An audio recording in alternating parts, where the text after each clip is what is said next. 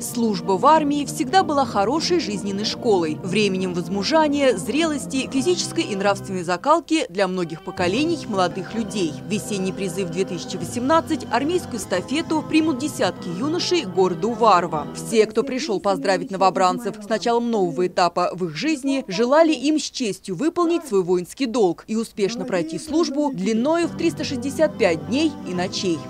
Провожая вас на священном месте, не опозорьте Уварскую землю и всю Тамбовщину. Я хочу вам пожелать здоровья, мирного вам неба, стать мастерами своего военного дела, познать братство боевое, приобрести боевых товарищей, умных командиров вам, всего вам самого доброго. Каждый мужчина, кто прошел службу, он уже приходит настоящим мужчиной. И главное, ребята, вам будет что сказать вашим детям. Вы сейчас, конечно, молодые еще, но когда у вас уже будут дети, вы с гордостью будете говорить, что вы свой воинский долг перед Родиной, перед страной выполнили. У города Уварова славная ратная летопись. Во все времена уваровцы были мужественными защитниками своего отечества и всегда показывали пример героизма. Продолжать традиции и быть достойными своих предков – такова, по словам старших товарищей, главная задача сегодняшних новобранцев.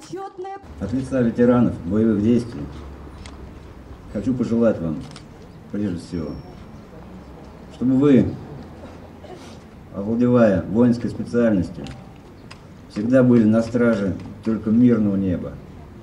Чтобы мы здесь жили спокойно, ждали вас, вашего возвращения.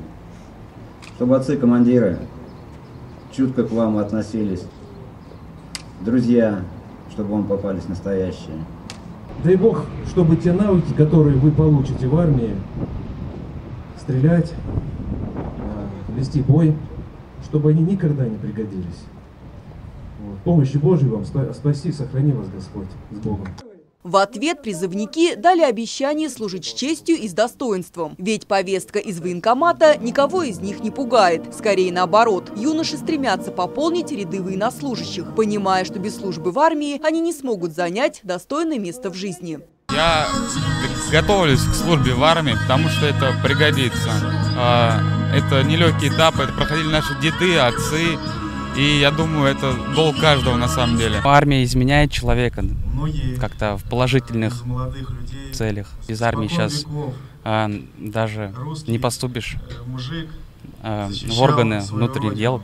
Кульминацией торжественного мероприятия стало возложение цветов к вечному огню и вручение уваровским новобранцам памятных сувениров. Ирина Пивоварова, Виктор Викторов, «Наш город».